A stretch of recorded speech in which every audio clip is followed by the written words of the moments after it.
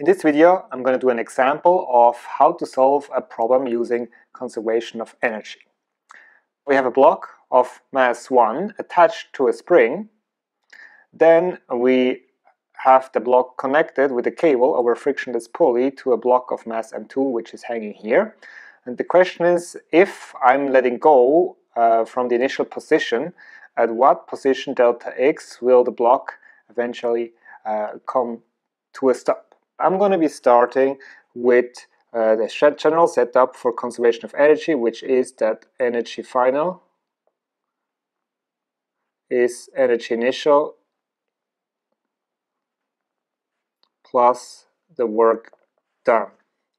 Now, what are my forms of final energy here?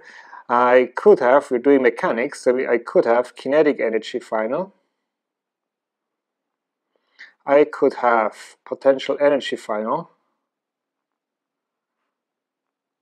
and for the initial energy the same I could have kinetic energy initial plus potential energy initial plus uh, any work done by any force. Now in the problem setup we were assuming that uh, the block was initially rest and will come to rest again. So we have a kinetic energy final of zero and we have a kinetic energy initial of zero. Uh, what is the potential energy at the end? Uh, so let's just assume for a second that I put my zero potential energy level here. This is zero, meaning when I'm below the zero at the end, I'm at minus mgh potential energy. So I'm to have minus mg delta x potential energy in total.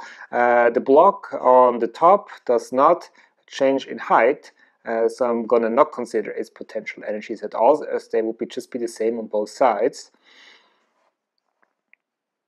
What, however, I can consider with the block at the top is that there uh, will be a spring potential energy as the spring will be extended by the distance delta x. I have plus 1 half k delta x square as my final uh, energy and that must be equal to my initial kinetic energy, which we also consider to be zero as we're not moving initially. And then my potential energy initially, uh, if uh, we take height zero as being the upper green line, uh, would be zero for the right block. And again, would be uh, zero for uh, my block number one here because we're not changing height and the initial uh, spring potential energy if we're starting at the unextended uh, or unstretched spring will be zero as well.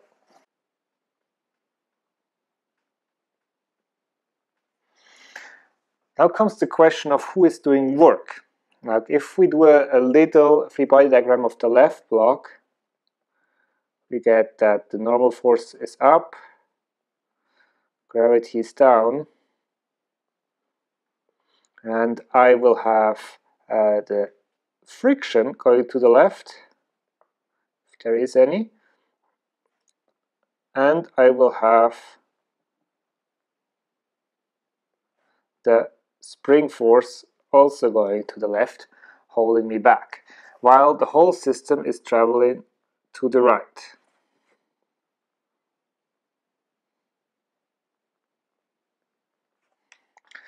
So I can see that between my normal force and the distance of travel there is a 90 degree angle, so we cannot do any work. The same is true for gravity and the delta S cannot do any work. Uh, the spring force here has an angle of 180 and definitely will do work. However, remember the important thing is for a conservative force, if we consider the potential energy attributed to a conservative force, then we do not consider the work done by that conservative force in the same equation, otherwise we account for it twice. So here we already took in uh, the potential spring energy, therefore we will not consider the work done by the spring. So the only work done on M1 is the work done by the friction as it is in opposite direction. Uh, that means we have an angle of 180 degrees. Cosine 180 is minus 1. So therefore I will have minus the friction times the displacement, which is the delta x. What forces are doing work on M2? If I do that free body diagram, uh, I will see the following. So I have M2,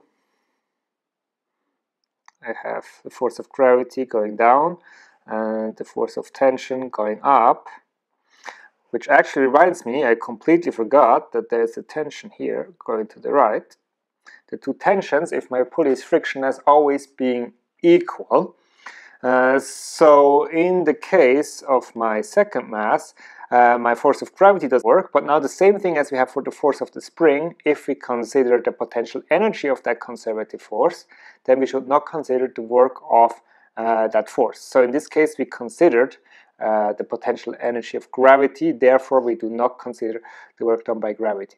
Now, what about the work done by the tension? Here, the work done by the tension would be tension times the delta x, and it would be negative because the tension is up while we're actually moving downwards. Delta S.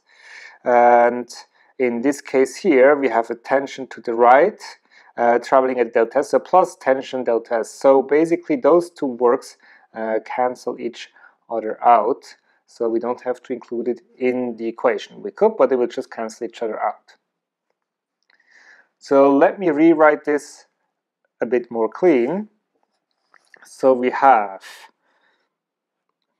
minus mg delta x plus 1 half k delta x square is minus the force of friction times delta x. Now I want to solve for delta x and according to math there are two solutions. One of the solution one of the solutions being uh, the one where delta x is zero and we know that's the initial position so that's definitely for physics not a solution. So uh, what I'm going to do here, I'm going to divide by delta x. As I know that delta x equals 0 cannot be my final answer. That was my initial uh, answer or my initial condition. So with this, uh, I will get minus m, I actually should be specific, this is m2 times g plus 1 half k delta x equals minus the force of friction. So if I solve this for delta x,